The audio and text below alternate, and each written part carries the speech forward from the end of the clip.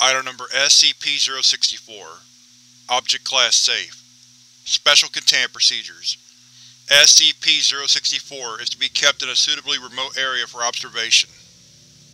Current goals are to generate a geometric model of the object's behavior pattern and to observe any changes in its pattern due to location and soil composition.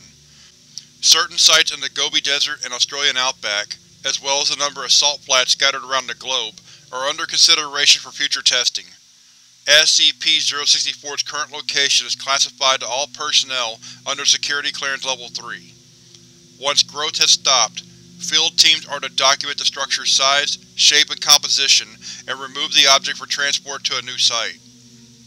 Description: SCP-064 is a light brown earthenware brick composed primarily of silicon oxides and some organic matter. The object weighs 1.6 kg and measures some 10 cm by 6 cm by 20 cm. Its surface is smooth and flat, with some minor cosmetic chips. By and large, the object is visually similar to most solid bricks used in construction. When left lying on a flat expanse of soft earth, SCP-064 will begin to multiply through an unknown mechanism. Close observation reveals the appearance of an irregular lattice of silicon fibers in the shape of the original object, which then fills and solidifies with a soil-based mixture until it attains the proper mass.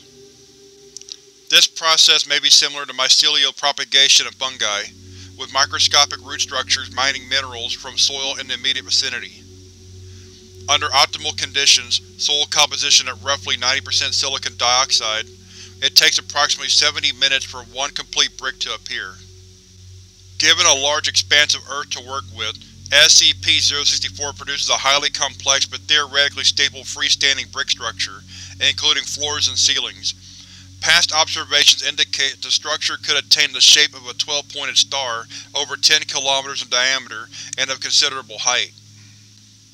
However, this is speculative, as growth stops permanently once the structure contacts a significant obstacle, observed to include any solid object over 10 kg in mass. Structural integrity is very high, as bricks orient themselves to be as level as possible and fit together almost perfectly. Interestingly, the structure's growth is tailored to be a specific set of cardinal directions, with SCP-064 always being the northernmost brick on the lowest level. SCP-064 must be attached for growth to occur. Once SCP-064 is removed, the structure begins to decay, and all secondary bricks crumble to dust at a rate roughly equal to their rate of appearance. Replacing the object within 20 minutes halts its decay, and allows growth to continue. Past this threshold, the process is irreversible.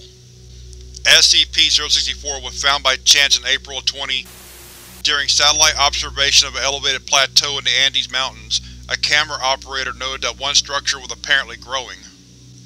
Extrapolating the object's approximate location from the structure's apparent direction of growth, which stopped during recovery, field teams located the object by differences in color between SCP-064 and its secondary bricks, which were high in iron oxides from the local soil. A full excavation of the original site is underway in order to ascertain the object's cultural and technological origins.